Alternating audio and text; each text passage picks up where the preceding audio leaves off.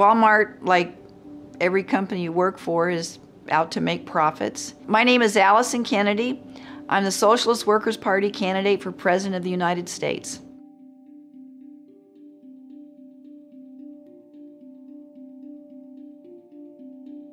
Both parties, the Democratic Party and the Republican Party, have pushed uh, back uh, workers' rights in this country. Uh, they do nothing to defend our rights. What's underneath the support uh, that Sanders and Trump are getting in this election is the is the anger and unease among wide layers of working people in this country. These are capitalist parties, they're the parties of our employers. The Socialist Workers Party is a working class party.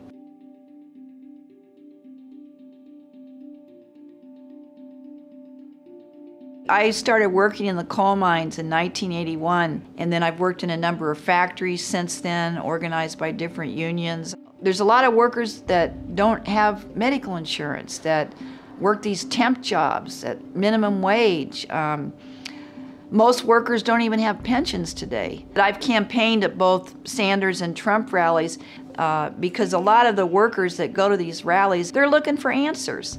They, you know, they're tired of the machine uh, party candidates of the Democratic and Republican parties. Working people are fed up with what's happening in this country and around the world.